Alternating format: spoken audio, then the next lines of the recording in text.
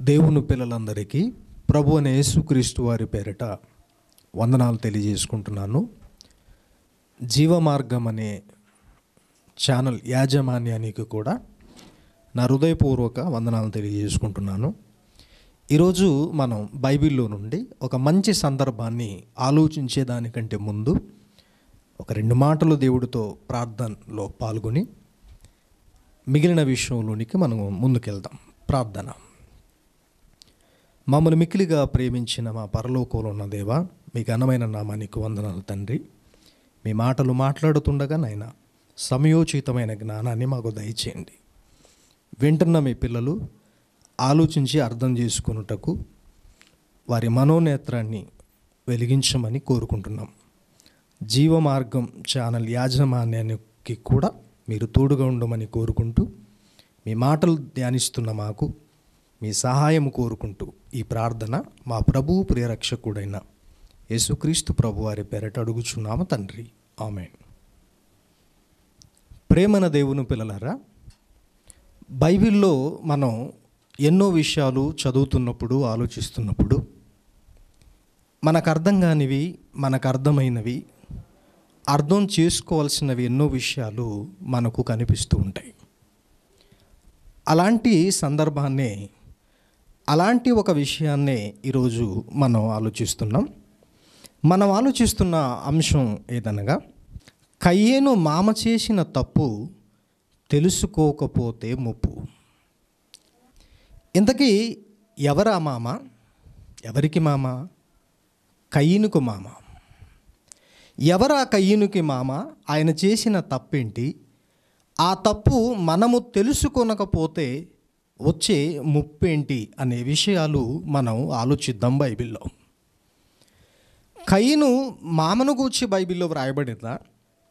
కయ్యను మామ అనే ఒక వ్యక్తి బైబిల్లో ఎక్కడైనా అరవై ఆరు పుస్తకాల్లో ఆయనకు సంబంధించిన ఇన్ఫర్మేషన్ ఏమైనా ఉందా? లేదు కదా అనే ఆలోచన ఈ మాటలు వినగానే బహుశా మీకు రావచ్చు. ప్రియులరా ఒక విషయాన్ని మనం అర్థం చేసుకుంటున్నప్పుడు ఒక ఒక సంఘటన జరిగిన విషయంలో మనం ఏదైనా ఆలోచిస్తున్నప్పుడు దాని బ్యాక్గ్రౌండ్ హిస్టరీ కూడా మనం ఆలోచించాల్సిన అవసరత ఎంతైనా ఉంటుంది. కయ్యను మామ చేసిన తప్పు తెలుసుకోకపోతే ముప్పు అని మనం ఏదైతే ఆలోచిస్తున్నామో ఎవరా కయ్యను గారికి ఉన్న మామ అనే విషయం మనకు అర్థం కావాలంటే కయ్యను కూర్చిన కొంత ఇన్ఫర్మేషన్ కూడా మన దగ్గర ఉండాలి. బహుశా అందరికి తెలుసు అయినా కూడా. కయ్యను గూర్చిన ఒక రెండు మాటలు ఆలోచించి వాళ్ళ మామ ఏం తప్పు చేశాడు? ఆ తప్పు వల్ల మనకొచ్చే ముప్పేంటి? అనే సంగతులు మనం ఆలోచించుకుంటూ ముందుకెళ్దాం. యోహాన్ గారు రాసిన మొదటి పత్రిక మూడో అధ్యాయము పన్నెండవ వచనాన్ని మనం చూస్తున్నాం. మనము కయ్యను వంటి వారమై ఉండరాదు అంటున్నాడు దేవుడు పరిశుద్ధాత్మ ప్రేరణతో యోహాన్ గారి ద్వారా రాయిస్తూ. కయ్యను మామ చేసిన తప్పేంటి? ఆ తప్పు తెలుసుకోకపోతే ముప్పేంటి అని ఏదైతే మనం ఆలోచిస్తున్నామో పిల్లనిచ్చిన మామ గురించి ఆ మామకు ఎవరి మామకు? కయ్యను గారి మామ ఎవరికైతే పిల్లనిచ్చాడో కయ్యను అనే వ్యక్తికి ఆ వ్యక్తిని గురించి మనం ఆలోచిస్తున్నాం. ఎవరా వ్యక్తి? ఆ వ్యక్తికి ఉన్న ప్రొఫైల్ ఏంటి అని మనం చూస్తే బైబిల్లో దేవుడు వ్రాయించాడు మనము కయ్యను వంటి వారమై ఉండరాదు. ఎందుకు? వాడు దుష్టుని సంబంధి. కయ్యనులా మనం ఉండకూడదు అంటున్నాడు. ఎందుకు తండ్రి? ఎందుకు మేము ఉండకూడదు కయ్యనులా అంటే వాడు దుష్టుని సంబంధి అంటున్నాడు. ఏ? దుష్టుని సంబంధులకు దేవుడు దగ్గర చోటు లేదా? ఎట్టి పరిస్థితుల్లో ఉండదు. ఎందుకంటే ఆదాము గారు ఎవరైతే మనకు ఆ మొదటి వ్యక్తి మన తండ్రి ఆదాము గారు ఉన్నారో మన తల్లి అవ్వమ్మ గారు ఉన్నారో వీరిద్దరూ భూమి మీద ప్రవేశం జరగక ముందే పరలోకంలో కూడా దుష్టునికి జరిగిన పరిస్థితి ఏంటో దుష్టుని ఎడల దేవుడు తీసుకున్న నిర్ణయాలేంటో బైబిల్ తెలిసిన వ్యక్తులుగా మనకందరికీ బాగా తెలిసిన విషయమే. దేవుడు పాపాన్ని కానీ పాపం చేస్తున్న వ్యక్తులను కానీ తన దగ్గర ఉంచుకోవటానికి ఎట్టి పరిస్థితుల్లో ఇష్టపడడు. అందుకే దేవుడు అంటున్నాడు ఎవరైతే కయ్యను గురించి మనం మాట్లాడుతున్నామో ఆ కయ్యను గురించి దేవుడు అంటున్నాడు కయ్యను దుష్టుని సంబంధి కనుక వాడిలా మీరు ఉండొద్దు వాడిలా మీరు ఉండొద్దు అంటున్నాడు. బైబిల్ అంతా మనం ఆలోచిస్తున్నప్పుడు కూడా కీర్తన గ్రంథం మొదటి అధ్యాయం మొదటి నుండి మూడు వచనాలు చదువుతున్నప్పుడు కూడా దుష్టుల ఆలోచన చెప్పున నడువక పాపులు కూర్చుండు మార్గవులో కూర్చోవద్దు అంటాడు. ఎందుకో తెలుసు అంటే దేవుడికి పాపము అన్న పాపము చేస్తున్న వ్యక్తులైనా తన దగ్గర చేర్చుకోవడానికి తన దగ్గర ఉంచుకోవడానికి ఎట్టి పరిస్థితుల్లో ఇష్టపడడు అని బైబిల్ అంతా చూస్తుంటే మనకు అర్థమవుతుంది. అదేంటండి పాపాత్ముల కొరకు కదా దేవుడు వచ్చింది అంటే నిజమే.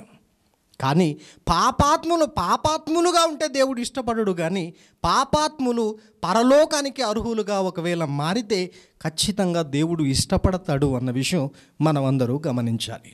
ఇంతకీ ఏం చేశాడు ఈ కయ్యను వాళ్ళ మామ అనే మనం ఆలోచిస్తున్నాం గనక కయ్యను ప్రొఫైల్ ఏంటి అంటే కయ్యను దుష్టుని సంబంధి ఆ దుష్టుని సంబంధిగా ఉన్న ఆ దుర్మార్గుడి జాబితాలో వాడి జాడలో మీరు ఎవ్వరు నడవద్దు అంటున్నాడు దేవుడు. ఏంటి ఆయన చేసిన దుష్టత్వం? ఎవరు ఈయన? ఏం చేశాడు? ఈయన చేసిన పాపం ఏంటి అని మనం బైబిల్లో ఆలోచిస్తే మనందరికీ తెలిసిన విషయమైనప్పటికీ వాళ్ళ మామను గురించి మనం ఆలోచిస్తున్నాం గనక వాళ్ళ మామ చేసిన తప్పును గురించి మనం ఆలోచిస్తున్నాం గనక కొన్ని మాటలు కయ్యను చేసిన విషయాల గురించి మనం ఆలోచిద్దాం. ఆది కాండము నాలుగవ అధ్యాయము ఏడవ వచనం నుండి మనం చూద్దాం. లేదా ఐదవ వచనం నుండి కయ్యనును అతని ఎర్పను ఆయన లక్ష్య పెట్టలేదు దేవుడు కాబట్టి కయ్యనుకు మిక్కిలి కోపం వచ్చి అతడు తన ముఖము చిన్నబుచ్చుకొనగా యహోవా కయ్యనుతో అంటున్నాడు నీకు కోపమేలా? ముఖము చిన్నబుచ్చుకొని ఉన్నావేమి? నీవు సత్క్రియ చేసిన ఎడల తలనెత్తుకొనువా? సత్క్రియ చేయని ఎడల వాకిట పాపము పొంచియుండును నీ ఎడల దానికి వాంఛ కలుగును. నీవు దానిని ఏలుదు అనెను. ఇది కయ్యను గురించి మాట్లాడుతున్నాడు. ఏం చేశాడంటే ఎనిమిదో వచనములో మనం చూస్తున్నప్పుడు కయ్యను తన తమ్ముడైన హెబేలుతో మాట్లాడెను. వారు పొలములో ఉన్నప్పుడు కయ్యను తన తమ్ముడైన హెబేలు మీద పడి అతనిని చంపెను. ఇది కయ్యని యొక్క జీవిత చరిత్ర. ఎవరు ఎలాంటి వాడు? కయ్యను ఎందుకు కయ్యనులా మనం ఉండొద్దు అని దేవుడు అంటున్నాడు అంటే కయ్యను ఒక దుర్మార్గుడు. ఎంత దుర్మార్గుడు అంటే సొంత తమ్ముణ్ణే చంపిన దుర్మార్గుడు కనుక అలా ఉండొద్దు అలా ఉండకూడదు అంటున్నాడు. ఈ కయ్యను గూర్చిన విషయాలు మనం ఇవన్నీ వింటున్నప్పుడు సొంత తమ్మున్నే చంపిన ఒక కయ్యను గురించి మనం ఆలోచిస్తున్నప్పుడు దేవుడు మాట్లాడుతున్న కొన్ని విషయాలు మనం ఆలోచిస్తున్నప్పుడు దేవుడు చెప్పేది ఒకటే. ఇదిగో పాపులు కూర్చుండు చోట నువ్వు కూర్చోవద్దు. దుష్టుల ఆలోచన చొప్పున నీవు నడవద్దు. కయ్యనులా మనం ఉండొద్దు అంటున్నాడు. కారణం ఏంటి అంటే నేను పరిశుద్ధుడును గనక మీరు కూడా పరిశుద్ధులై ఉండాలి. నేను పరిశుద్ధుడు పరిశుద్ధంగా నేను జీవిస్తున్నాను కనుక నాకు పిల్లలుగా వచ్చిన మీరు నాకు పిల్లలుగా పిలువబడుతున్న మీరు నన్ను నమ్మిన మీరు నా బాటలు నడుస్తున్న మీరు కయ్యనులా ఎట్టి పరిస్థితిలో ఉండటానికి వీలేదు ఎందుకు తండ్రి? వాడు దుష్టుని సంబంధి అంటున్నాడు దేవుడు. ఇలాంటి దుష్టుని సంబంధి గురించి ఇలాంటి దుష్టుడైన ఈ కయ్యను గురించి మనం ఎందుకు ఆలోచిస్తున్నామంటే కయ్యను మామ చేసిన తప్పు తెలుసుకోకపోతే ముప్పు అని మనం అంటున్నాంగా. ఏం చేశాడు ముప్పు? ఏం జరిగింది అసలు ఏ తప్పు చేశాడు? ఆ తప్పు ఒకవేళ మనం తెలుసుకొనకపోతే మనకొచ్చే నష్టమేంటి అని మనం ఆలోచిస్తున్నాం కనుక ఒక్కసారి ఆదికాండము నాలుగో అధ్యాయం పదవచనం నీవు చేసిన పని ఏమిటి? తొమ్మిదో వచనంలో ఒక మంచి సందర్భం. యహోవా నీ తమ్ముడైన హేబేలు ఎక్కడున్నాడని కయ్యను అడగగా అతడు నేను ఎరుగను నా తమ్మునికి నేను కావలి వాడనా?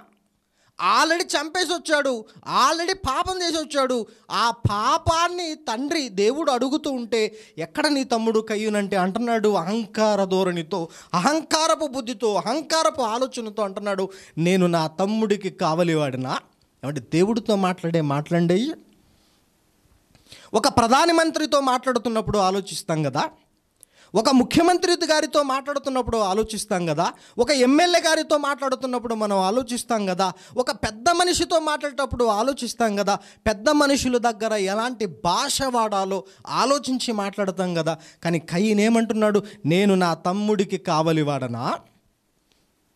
చంపేసి వచ్చిన ఈ హంతకుడు ఈ నరహంతకుడు సొంత తమ్ముణ్ణే చంపిన ఈ దుర్మార్గుడు దేవుడితో మాట్లాడే భాష మీరు గమనిస్తే నేను నా తమ్ముడికి కావలివ్వాడని అనుకుంటున్నావా? వాచ్మెన్లా నేను కనబడుతున్నానా? అంటున్నాడు చూశారు? ఏ దేవుడికి తెలియక అడిగాడా? దేవుడికి తెలియదా ఆల్రెడీ తన తమ్ముని చంపి వచ్చిన కయ్యను చూసిన తర్వాత కయ్యను చంపి వచ్చాడు తన కుమారుణ్ణి నీతిమంతుడైన హెబేలున్న సంగతి దేవుడికి తెలీదా? తెలిసి కూడా కయ్యను సమాధానం ఎలా వస్తుందని అడిగితే కయ్యను అంటున్నాడు నా తమ్ముడికి నేను కావలివాడనా? అప్పుడు దేవుడు నీవు చేసిన పని ఏమిటి? అంటే నేను చంపానని కయ్యను చెప్పలేదు. నేను చంపి వచ్చానని కయ్యను చెప్పకపోయినా దేవుడు అంటున్నాడు నీవు చేసిన పని ఏమిటి? అంటే ఏం చేశావు నువ్వు? నీ తమ్ముణ్ణి చంపేసి వచ్చావు.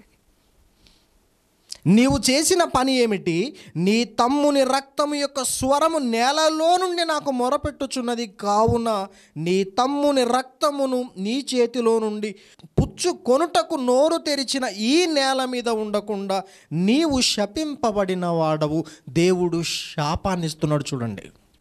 నీవు శపింపబడిన వాడివి. ఎందుకో తెలుసా? సొంత తమ్ముణ్ణి నీతిమంతుని చంపిన ఒక హంతకుడు గనక హంతకుడే కాకుండా ఒక తండ్రిగా ఒక దేవుడిగా నిన్ను కన్నవాడిగా నీ ముందు నేను వచ్చి అడుగుతా ఉంటే ఇంతటి అహంకారపు ఆలోచనతో మాట్లాడుతున్న నీవు ఈ నేల మీద ఉండటానికి అర్హుడువు కాదు అని శపిస్తున్నాడు కయ్యనుని మీకు డౌట్ రావచ్చు. అదేంటి? కయ్యను మామ చేసిన తప్పును గురించి చెబుతాం అనుకుంటే కయ్యను గారు చేసిన విషయాలన్నీ చెబుతున్నారు కదా అసలు విషయం చెప్పట్లేదు కదా అనుకోవచ్చేమో. ఏమండి ఈ విషయాన్ని మనం ఆలోచించుకుంటూ పోతేనే తప్ప ఆ విషయం మనకు అర్థమయ్యే అవకాశాలు చాలా తక్కువ. చూద్దాం. పది నుండి మళ్ళీ చదువు నీవు చేసిన పని ఏమిటి? నీ తమ్ముని రక్తం యొక్క స్వరము నేలలో నుండి నాకు మొరపెట్టుచున్నది కావున నీ తమ్ముని రక్తమును నీ చేతిలో నుండి పుచ్చుకొనుటకు నోరు తెరిచిన ఈ నేల మీద ఉండకుండా నీవు శపింపబడిన వాడవు. నీవు నేలను సేద్యపరుచినప్పుడు అది తన సారమును ఇక మీదట నీకు ఇయ్యదు. నీవు భూమి మీద దిగులు పడుచు దేశ దిమ్మరివై యుందువా నేను? అంటే నువ్వు దేశదిమ్మరేయి నువ్వు శాపానికి గురై నేను పెట్టిన శాపం అనుభవిస్తూ ఈ నేల మీద నువ్వు ఉండకుండా లేదా ఈ నేలలో నువ్వు ఏది పండించినా ఆ పంట ఆ సారం నీకు ఇవ్వకుండా చేయాలి అని నేను శపిస్తున్నానని దేవుడు శపిస్తున్నాడు కయ్యుని. కయ్యను పరిస్థితి ఎంత దిగజారుడు పరిస్థితుల్లోనికి వెళ్ళిపోయిందో ఆలోచించండి ప్రేమని దేవుని పిల్లలారా. ఒకప్పుడు క్షేమంగా తల్లి తండ్రి తల్లి తండ్రుల చేతుల కింద క్షేమంగా హ్యాపీగా బ్రతకాల్సిన ఇద్దరు అన్నాదమ్ములు ఒక వ్యక్తి నీతిమంతుడుగా బ్రతికినందుకు సొంత తమ్ముణ్ణే చంపిన ఈ హంతకుడి పరిస్థితి ఎంత దుర్మార్గమైపోయిందో మీరు ఆలోచించండి. అప్పుడు దేవుడు అంటున్నాడు నీవి నేల మీద ఉండటానికి అర్హుడు కాదు. నువ్వు శిక్షకు అర్హుడివి. నువ్వు దేశ దిమ్మిరివై తిరగాలి. నువ్వు అసలు హ్యాపీగా బ్రతకడానికే వీల్లేదని దేవుడు శపించిన తర్వాత కయ్యను ఏం మాట్లాడుతున్నారో మీరు పదమూడు వచ్చిన నుంచి గమనించండి. అందుకు కయ్యను నా దోష శిక్ష నేను భరింపలేనంత గొప్పది. నేడు ఈ ప్రదేశము నుండి నన్ను వెళ్ళగొట్టితివి. నీ సన్నిధిలోనికి రాకుండా వెలివేయబడి దిగులు పడుచు. భూమి మీద దేశ దిమ్మిరినయుందును కావునా? ఎందుకు? నువ్వు ఏదైతే శాపం వేశారో మీరు ఏదైతే నన్ను శపించారో ఆ శపించిన ఆ పరిస్థితుల్లో నేను బ్రతకలేని పరిస్థితి నేను జీవించలేని పరిస్థితి ఆ పరిస్థితులు నేను ఊహించుకుంటే నేను భరించలేము అనిపిస్తుంది. కావున నన్ను కనుగొను వాడెవడో వాడు నన్ను చంపునని యహోవతో అనెను. చూడండి కయ్యని యొక్క ఆలోచన. తప్పు చేశావు నువ్వు శిక్ష అనుభవించాలని దేవుడు శపిస్తే ఆ శాపము నుండి ఆ శపింపబడిన ఆ పరిస్థితుల్లో నుండి విముక్తి కలగడానికి ఆ పరిస్థితి నుండి తప్పించుకోవడానికి ఆ పరిస్థితుల్లో నుండి బయటపడడానికి చేస్తున్న కుయుక్తి మీరు గమనించాలి. ఇక్కడ చాలామంది అంటున్నారు నన్ను ఎవడైనా చంపేయాలని కయ్యను అన్నాడంటే మారు మనసు పొందాడు దేవుడు శాపం వేసిన తర్వాత అనుకుంటున్నారు. చాలా తప్పండి అలా కాదు దాని ఉద్దేశం. కయ్యని ఉద్దేశం అది కాదు.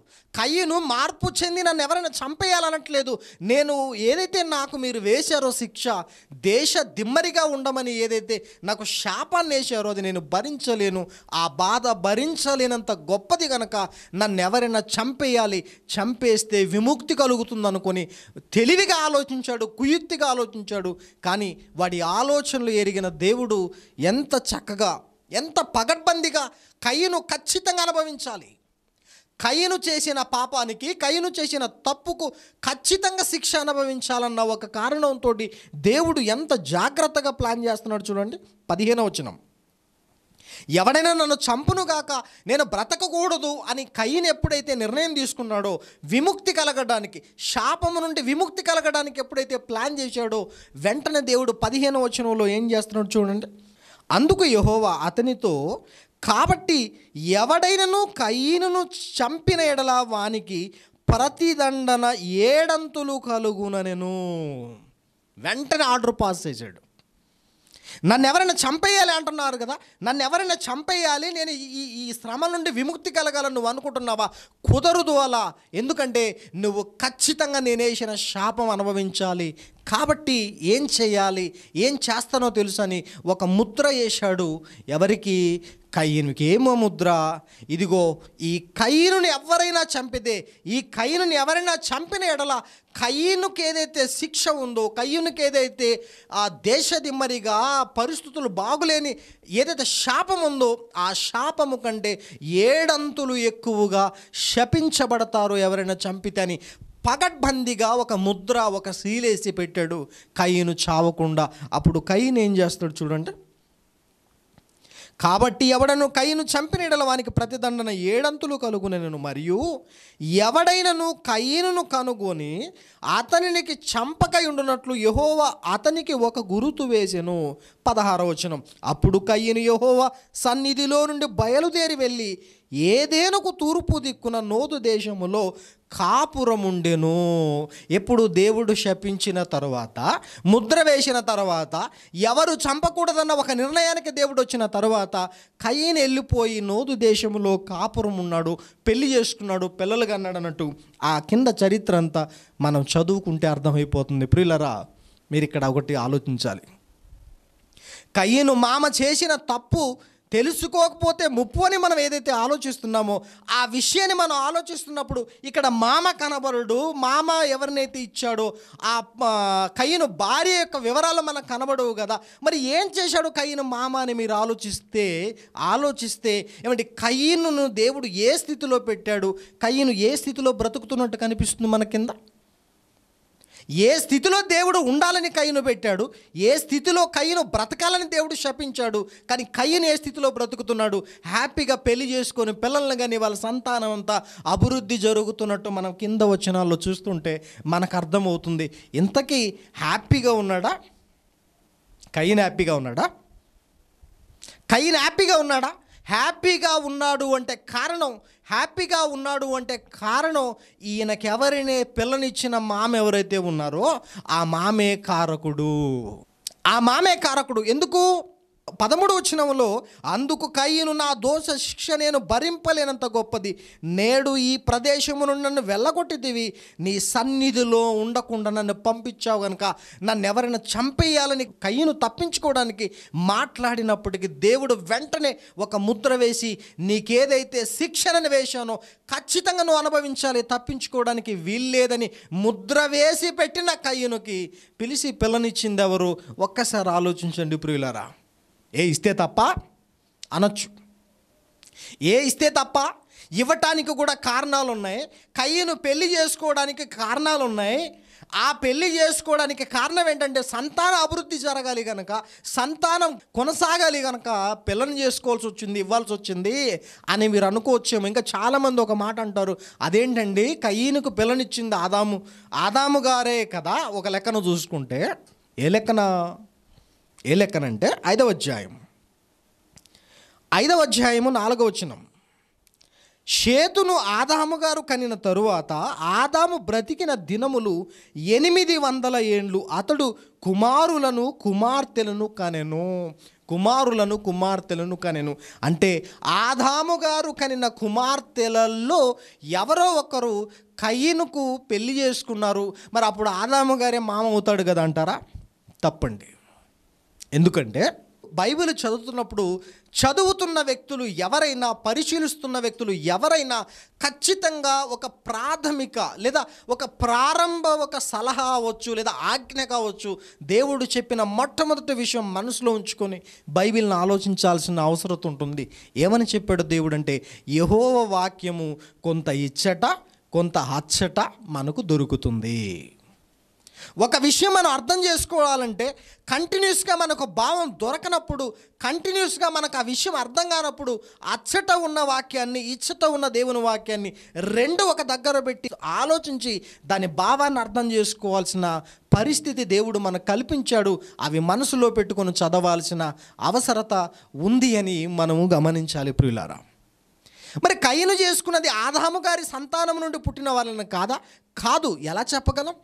ఎలా చెప్పగలం? ఏమండి షేతుగారు పుట్టే సమయానికి ఆదాము గారు వయసు ఎంత నూట ముప్పై ఏళ్ళు. నూట ముప్పై ఏళ్ళలో షేతు గారు పుడితే అప్పటికి కయ్యను పుట్టాడు అప్పటికి హెబేలు గారు పుట్టారు.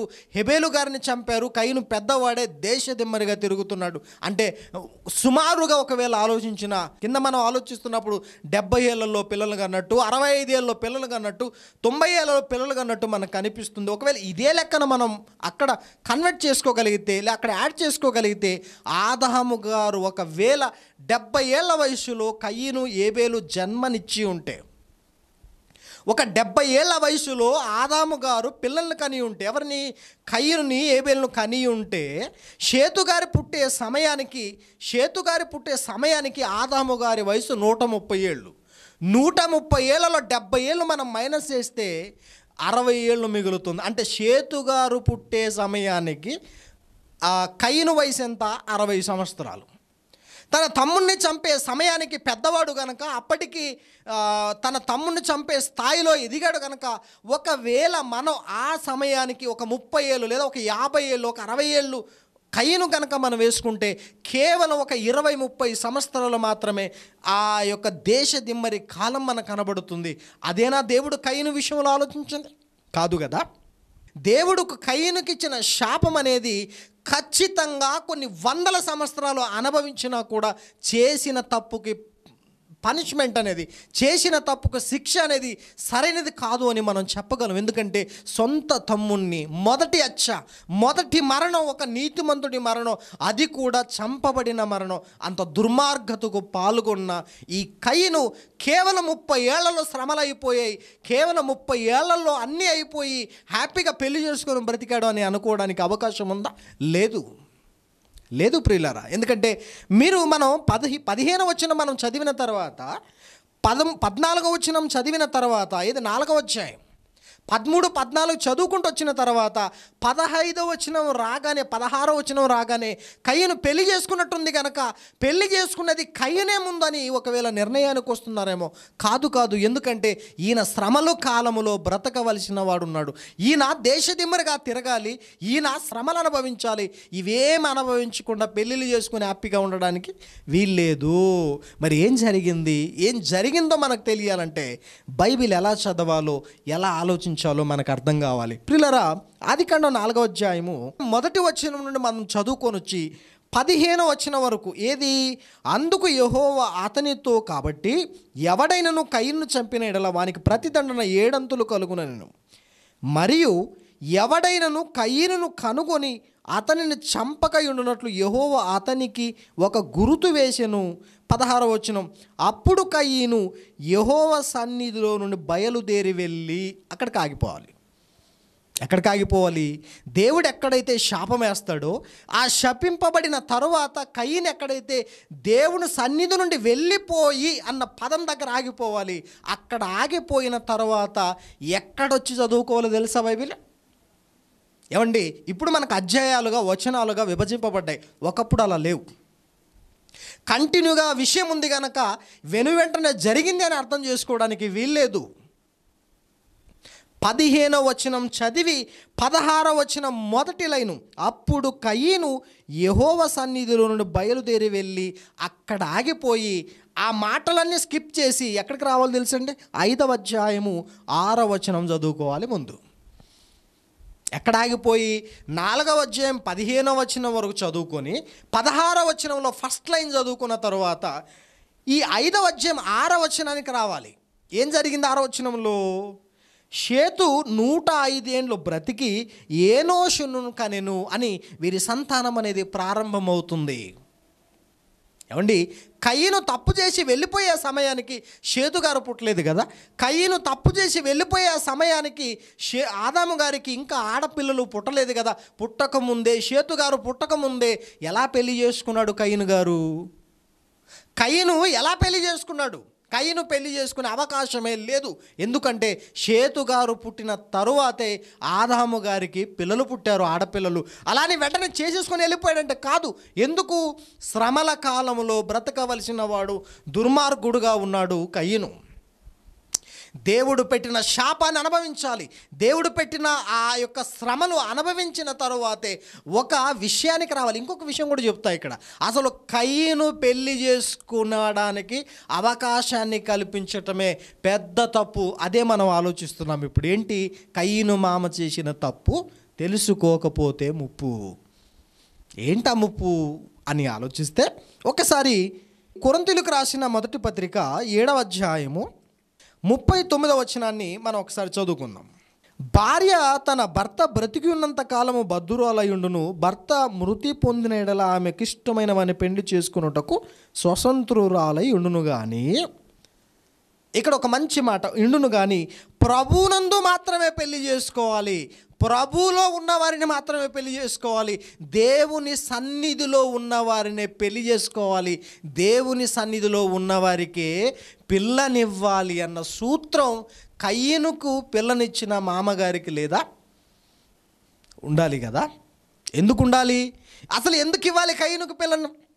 కయ్యను పెళ్ళిళ్ళు చేసే వ్యవహారం ఎందుకు పెట్టాలి? అప్పటికి కయ్యను సంతానం లేదా? అప్పటికి కయ్య నుండి వచ్చిన సంతానం లేదా? ఆ సంతానం అంతా వెదిగి పెరిగి పెద్దగా అయిపోయి వంశం ముందుకెళుతున్న ఆ క్రమంలో కయ్యను పిలిచి పిల్లనివ్వాల్సిన పరిస్థితి ఎందుకు వచ్చింది దేవుడు చెప్పలేదా? దేవుడు చెప్పలేదండి.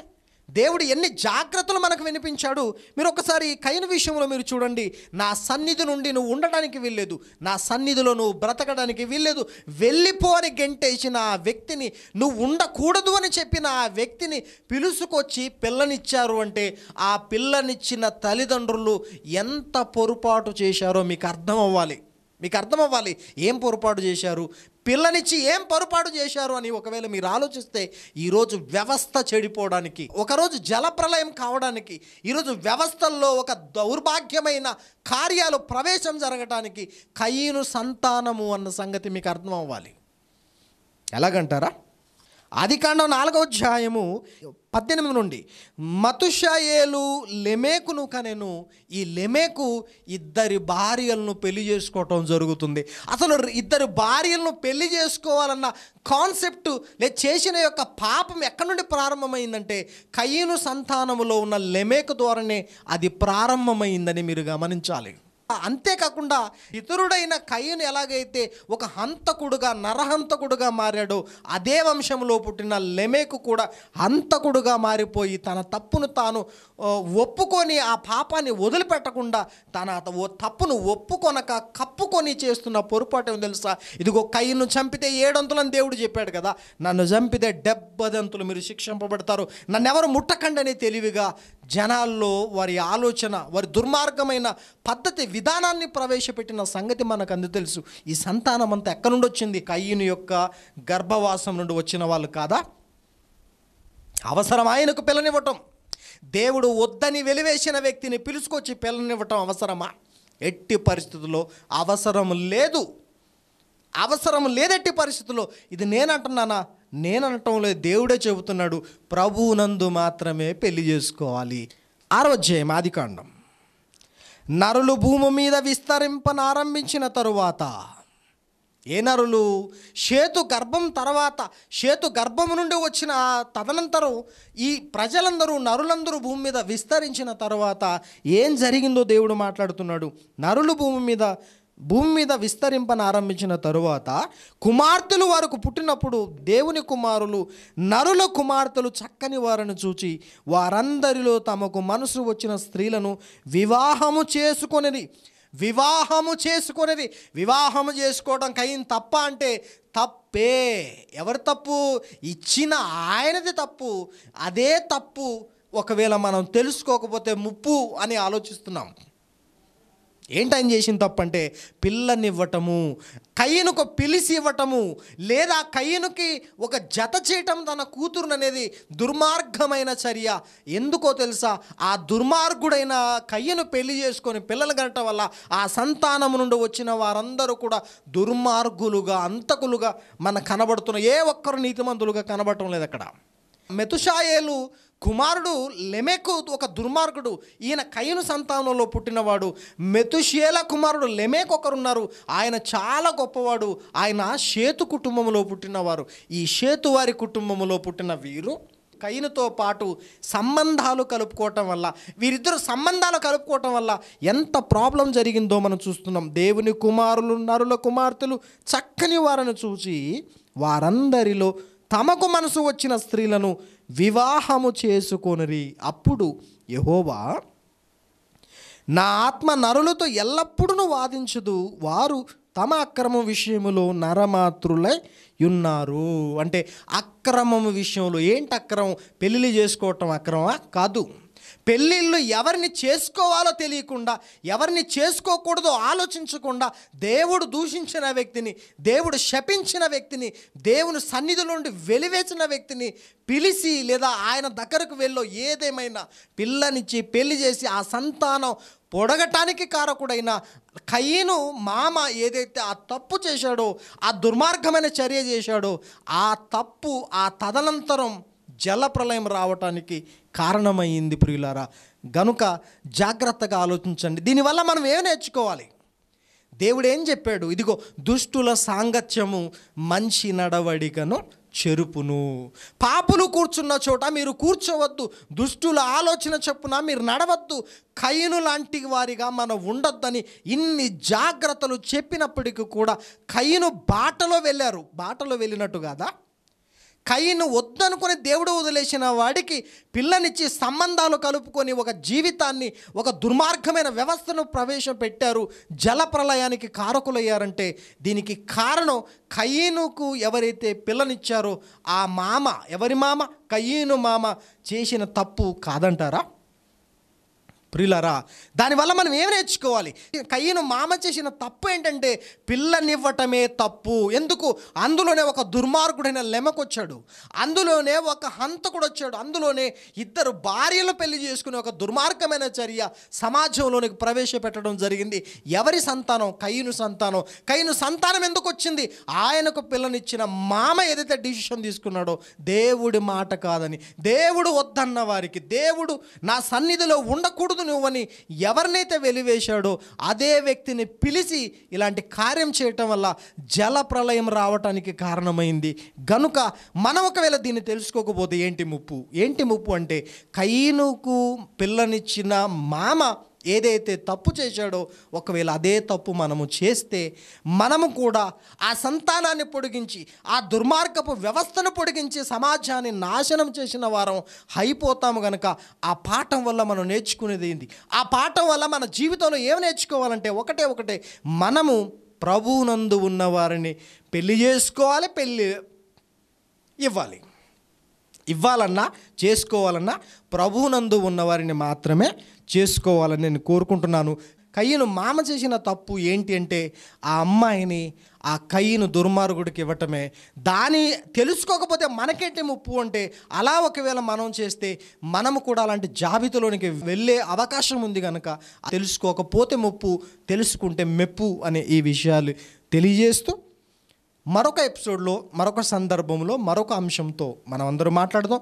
ఈ అవకాశాన్ని అందరూ కూడా సద్వినియోగం చేసుకోవాలని కోరుకుంటూ ఒక చిన్న ప్రార్థన. తండ్రి మీ మాటలు చెప్పడానికి మీరు ఇచ్చిన అవకాశాన్ని ఆరోగ్యాన్ని ఆయుష్ను బట్టి మీకు వందనాలు చెల్లిస్తున్నాం. మాట్లాడుతున్న ప్రతి మాట మీ పిల్లలమైన మా హృదయాల్లో భద్రపరుచుకొని వాటి ప్రకారంగా జీవించడానికి సహాయం చేయండి. జీవమార్గము అనే ఛానల్ వారి యాజమాన్యాన్ని కూడా మీరు జ్ఞాపం చేసుకోండి. వారికి ఏం అవసరమో వారి అవసరతలు మీరు గుర్తించి వారి అవసరాలకు మీరు సహాయం చేయమని కోరుకుంటూ భవిష్యత్తులో జరగనయున్న ప్రతి ఆత్మీయ కార్యక్రమానికి తోడుగా ఉండమని కోరుకుంటూ క్రీస్తున్నామాన్న ఈ ప్రార్థన అడుగుచున్నాం తండ్రి. ఆమెన్.